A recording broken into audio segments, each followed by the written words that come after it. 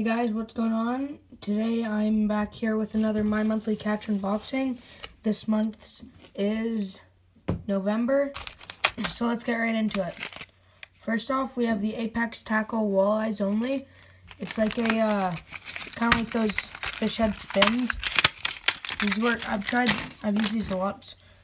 It's a little free moving, it has a free moving hook, a spinner. You just put put your worm here or your little swim bait or whatever. It's really nice. Put this on a spinning rod, six pound test. Be meant.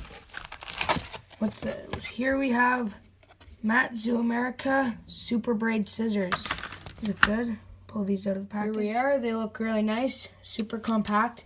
Put them right in your fishing box or your tackle bag, whatever. Next up, we have a pickerel rig. These are awesome.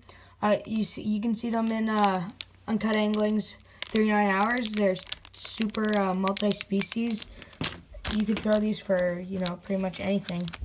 Suckers, walleye, uh, rock bass, whatever. Next, here we have a sticker, a Duck Commander sticker. I'm just going to put this right on the back of my truck or maybe my boat, whatever. Looks pretty nice. Next up, we have some size 2. These are called Aldebaran hooks. These are red Zoo America hooks. Very nice, very nice. Last but not least, we have some hand warmers. These are pretty nice going out if you're going out musky fishing, really cold, anything. These are super nice. Use these lots before.